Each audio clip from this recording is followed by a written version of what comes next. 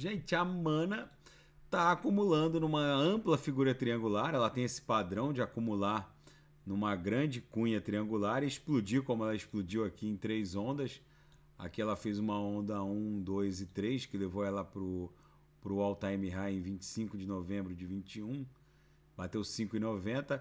Aqui, igualmente, a gente está acumulando numa ampla figura triangular. A gente fez esse primeiro fundo aqui no dia 12 de maio, que foi o dia do Crash Luno ST.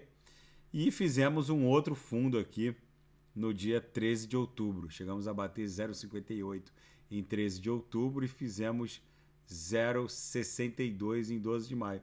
Então, depois de testar novamente a base dessa cunha triangular, agora é bem provável que a mana volte a estressar a aresta superior dessa cunha que se confunde com, a, com o centro gravitacional da nuvem aqui na projeção. Então, na, na projeção de 26 períodos, a nebulosidade está estreitando bastante, parecendo criar, querer criar uma nebulosidade esverdeada. O ímpeto vendedor parece que está perdendo fôlego depois dessas duas mega agulhadas aqui.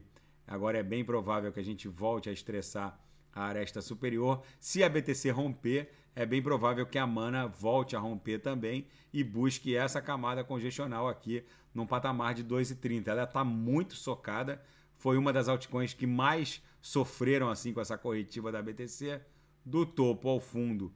Basicamente, o fundo foi alcançado nessa nessa agulhada aqui para 0,59 do dia 13 de outubro.